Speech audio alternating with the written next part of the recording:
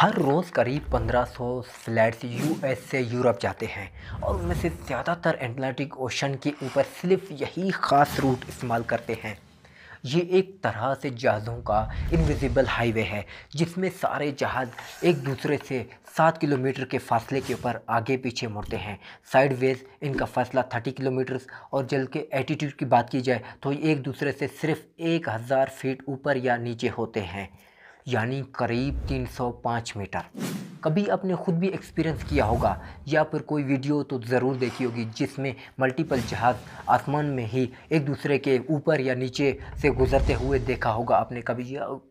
ख़ास करके यूएस और यूरोप के फ्लैट में देखा जाता है इनविजिबल हाईवे इस्तेमाल किया जाता है। पर सवाल यह है कि जब पूरा आसमान खाली पड़ा है तो पायलट जहाज़ से एक दूसरे के करीब क्यों इंतहाई रिस्की लेकर काम, क्यों इसी ख़ास रूट से क्यों करते हैं? हमारे वीडियो में एक बार एक आप लोगों को फिर से खुश आमदीद। नाजरीन जहाजरीन जहाज़ इस सौ साल पहले इस रास्ते ढूंढा। नाइनटीन ट्वेंटी में मसर वोशी एक जैपनीज़ एंट्रोलॉजिस्ट ने आसमान से कई वेदर बैलून रिसर्च के मकसद से भेजे थे। उन्होंने नोटिस किया कि तीस से चालीस हज़ार की फीट पर आसमान में एक इनविजिबल ताकत है, जो बैलून को इंतहाई तेज़ रफ्तार से ईस्ट की तरफ़ भेजती है। उनकी इस रिसर्च पर दुनिया ने ज़्यादा ध्यान नहीं दिया। लेकिन फिर 25 सालों के बाद वर्ल्ड वार टू के के टाइम एक ऐसा वाक़ हुआ जिसने दुनिया के जैपनीज साइंटिस्ट को उस रिसर्च को सीरियसली लेना शुरू कर दिया। अप्रैल 1945 में छः दोस्त पिकनिक बनाने अमेरिका स्टेट मोरिगन गए तो वहाँ जंगल में उनको एक बहुत बड़ा बलून पड़ा हुआ मिला। उन्होंने एक्साइटमेंट में आकर उसको घसीट तो लिया, लेकिन उनको क्या पता था कि असल में ये एक क्या एक ख़तरनाक चीज़ है। उस बैलून में बॉम लगा हुआ था, जो हिलने जुलने से फट पड़ा और छः के छः दोस्त जान से हाथ धो बैठे। पूरे यूएस में इस किस्म के कई और इंसिडेंट्स भी रिपोर्ट हुए। इन्वेस्टिगेशन हुई तो पता चला कि ये बलून दस हज़ार किलोमीटर पैसिफिक ओशन इस पार से जा, जापान लॉन्च किया था। सिर्फ़ दो चार नहीं बल्कि जापान ने नौ हज़ार के करीब बैलून बॉम्ब्स लॉन्च किए थे जिनमें से 300 अपने टारगेट यूएस में लैंड हुए। जापान ने अपने हुसैन गोशी के फ़ायदा उठाकर ये बैलून लॉन्च किए थे जो तेज़ हवाओं में बहते हुए यूएस तक जा पहुँचे। तब से 30 से चालीस हज़ार फुट तक तेज़ हवाओं के इस टनल को जेट स्ट्रीम कहा जाता है। करीब पूरा साल ये हवाएँ मैक्सिमम ढाई सौ किलोमीटर पर हावर की स्पीड से इसकी तरफ़ ट्रेवल करती थी। इनको नादर हैवी की भी नोटिस किया गया कि और सौदन ने भी ये ट्यूब की शक्ल में ट्रेवल करती हैं, जिसकी चौड़ाई कई सौ किलोमीटर है, जबकि मोटाई चार किलोमीटर होती है। और हैरत की बात तो ये है, इनकी कोई फिक्स लोकेशन नहीं है। साइंसदानों का मानना है कि पोल्स और इक्वेटर में डिफरेंस की वजह से ये तेज़ हवाएँ पैदा होती हैं। इक्वेटर की गर्म हवा जब पोल की तरफ़ ट्रेवल करती है तो जेट स्ट्रीम पैदा होती है। लेकिन इक्वेटर से नॉर्थ पोल की तरफ़ अगर हवा ट्रेवल करेगी तो इसको साउथ से नॉर्थ जाना चाहिए। पर यह जेट स्ट्रीम वैसे ईस्ट की तरफ़ क्यों ट्रेवल करती है? इसकी सबसे बड़ी वजह अर्थ की रोटेशन बताई जाती है। हमारा अर्थ करीब 1600 किलोमीटर पर हावर स्पीड से एंटी क्लॉकवाइज यानी वेस्ट से इसकी तरफ़ रोटेट कर रहा है। नॉर्दर्न और सेजरन में इन तेज़ हवाओं में पोल्स की तरफ़ ट्रेवल करना चाहिए, लेकिन अर्थ की रोटेशन की वजह से इसकी मजबूर करता है। अब आ जाते हैं हम अपने मेन ओशन की तरफ़, कि अटलांटिक ओशन के ऊपर यूएस से यूरोप जाने वाले एक दिन में 1500 जहाज़ सिर्फ़ एक ही बार क्यों इस्तेमाल करते हैं? 1952 में एयरलाइन पायलट्स ने जेट स्ट्रीम पे ध्यान देना शुरू कर दिया। जिस तरह पैसिक ऑफेस के ऊपर जो किया जा रहा था, उसी तरह से यूएस से यूरोप के सफ़र के दौरान इंग्लैंड के दौरान जेट स्ट्रीम मौजूद हैं।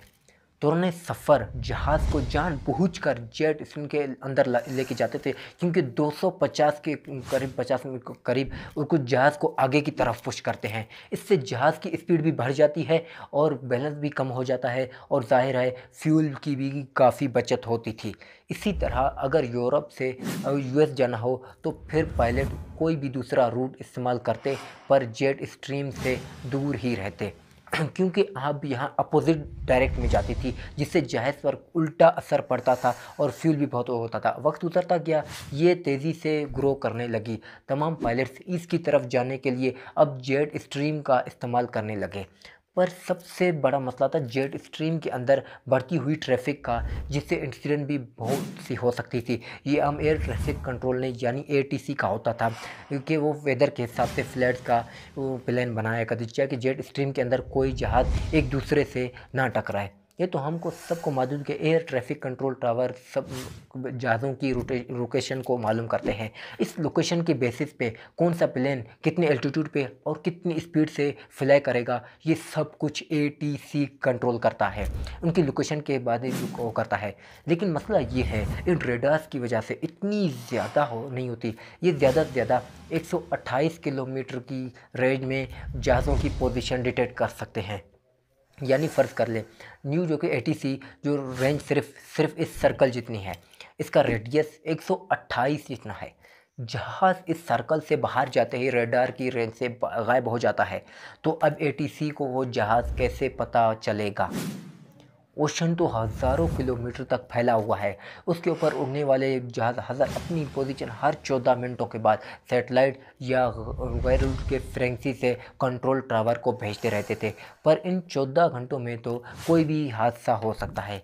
इसीलिए तो 1965 में एक नया सिस्टम इंट्रोड्यूस करवाया गया, जिसको नॉर्दर्न एंटालिक और एंडोस के नाम या फिर लैंड ओटीएस कहा जाता है। इस सिस्टम में अमेरिका और यूरोप का फ्लैट में मल्टीपल रूट पास बनाए गए, जिनको एंटलिटिक ओशन में चार मेन सेंटर्स कंट्रोल करने थे। पहला है न्यूयॉर्क स्टेशन जो इस हिस्से को कंट्रोल करता है। दूसरे नंबर पर है कनाडा का फिनलैंड है, जो इस रीजर को कंट्रोल करता है। जेना मरिया ओशन जो इस हिस्से को कंट्रोल करता है। और नर्मदरम नैन ओ के केस के छः रूट्स हैं, जिनके नाम लैंड ए से लैंड एफ़ तक हैं। बी टेक ऑफ़ से पहले टेल इनमें से कोई एक रूट एलिकॉट कर दिया जाता है, या फिर दौरान परवाज भी अगर किसी रूट के ऊपर ज़्यादा ट्रैफ़िक हो तो इनको एक रूट से दूसरे रूट शिफ्ट किया जाता है। ये रूट ख़ास तौर पर ऐसे बनाए गए हैं जिससे ट्रैफ़िक स्प्लिट हो जाए और यूरोप जाने वाले जहाज़ों को टेल मिल सके। टेल विंड उसको कहते हैं जो जहाज़ के पीछे से होकर उसको पुश करती है।